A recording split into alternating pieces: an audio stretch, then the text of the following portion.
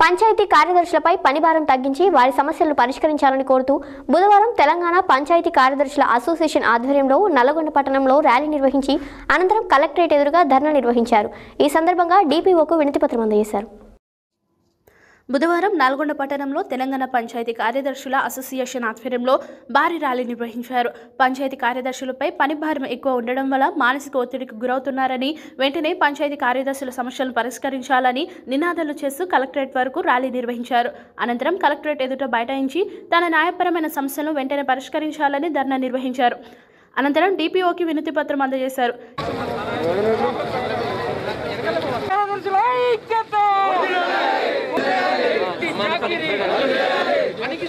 సమానమైన వేతలు పనికి సమానమైన వేతలు తెలంగాణ అని మనం చెప్పుకుంటున్న ఈ తెలంగాణలో పంచాయతీ కార్యదర్శుల బతుకులు రోడ్డున పడ్డాయి. దానికి ఇదే నిదర్శనము. అసలు తెలంగాణ రాష్ట్రం ఏర్పడ్డాక ఫస్ట్ టైం ఒక నెగిటివ్ మార్కింగ్ ద్వారా తొమ్మిది వేల ఐదు వందల మందిని పంచాయతీ కార్యదర్శులుగా ఎన్నికైనము.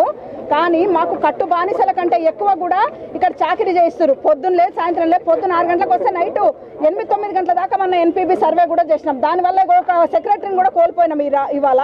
ఈ పని ఒత్తిడి తట్టుకోలేక ఎంతో మంది ఆత్మహత్యల పాలవుతున్నారు. ఎంతోమంది ఉద్యోగాలు వదులుకొని పోతున్నారు ప్రధానంగా చూస్తే ఉపాధి హామీ పనులు ఉపాధి హామీ పనులు ఫీల్డ్ అసిస్టెంట్లను తీసేసి పంచాయత్ సెక్రటరీ అప్పచెప్పారు ఎన్పీపీ సర్వే అని చెప్పారు పంచాయత్ సెక్రటరీ చేయాలి. చీరలు వంచాలి బతుకమ్మ చీరలు. పంచాయత్ సెక్రటరీ పంచాయత్ సెక్రటరీ అంటాడు మనిషి ఆ రోబోనా? సెక్రటరీలకు మనుషుల్లాగా కనిపిస్తలేదు గవర్నమెంట్ పంచాయత్ సెక్రటరీలు. కాబట్టి ఇప్పటికైనా మా పైన పనిభారం తొలగించాలి. పనిభారం తొలగించి మాకు సమాన పనికి సమాన వేతనం అని సుప్రీంకోర్టు ఏ గైడ్ లైన్స్ ఇచ్చిందో అది మాకు అప్లికబుల్ చేయాలి. ఉపాధి హామీకి సంబంధించి మాకు ఫీల్డ్ అసిస్టెంట్లను కూడా మాకు ఒక సహాయకులను పెట్టాలి. దీంతో పాటు మాకు పే స్కేల్ అమలు చేయాలి. మూడేళ్ళు ఉంది మాకు ఇప్పుడు. మూడేళ్ళు అయినాక ఆయనకు నచ్చితే రెగ్యులరైజ్ చేస్తారంట. మాది రెండేళ్ళకు తగ్గించాలని మేము కోరుకుంటున్నాం. ఆర్గనైజేషన్ నుంచి రాష్ట్ర ప్రభుత్వంలో ప్రజలకు సేవ చేయాలని సెంట్రల్ గవర్నమెంట్ నుంచి అంటే ఎయిర్ ఫోర్స్ డిఫెన్స్ రిటైర్డ్ అయ్యి పంచాయత్ సెక్రటరీ జాబ్లోకి రావడం జరిగింది. అప్పుడు మన ముఖ్యమంత్రి గారు కిరణ్ కుమార్ రెడ్డి గారు అంటే స్కమ్ ఉత్తమ మన ఆంధ్రప్రదేశ్లో ఉన్నప్పుడు ఈయన ఉద్యమ నాయకుడు మన కేసీఆర్ గారు మాట్లాడింది ఏంటంటే అసలు కాంట్రాక్ట్ ఉద్యోగులు ఏందా? కాంట్రాక్ట్ సీఎం ఉంటాడా? కాంట్రాక్ట్ ఎందుకు ఉద్యోగులు?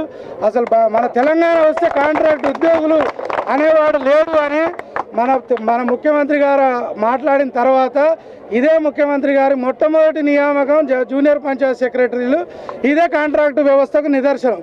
అంటే మీకు అవకాశం ఉన్నప్పుడు రాజకీయంగా ఏదైనా మాట్లాడుతూ ఉద్యోగులు రోడ్ల మీద వేస్తారు. ఇంతమంది కుటుంబాలు ఎక్కడికి పోవాలి? ఒక పదిహేను వేల వేతనంతో వాడు డిఏ డిఏ ఏం లేకుండా ఎన్ని ఉద్యోగాలు నలభై ఎనిమిది రకాల విధులు ఎట్లా నిర్వహిస్తారు? ఒక్కొక్క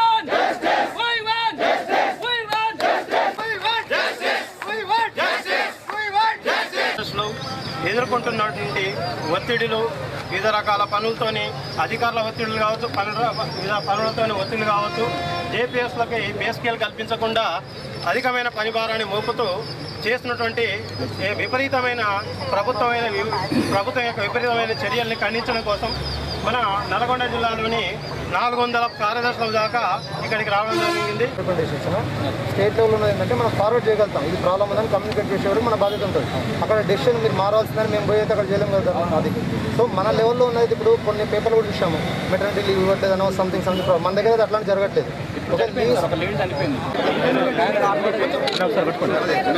చెప్తాం ఒకసారి.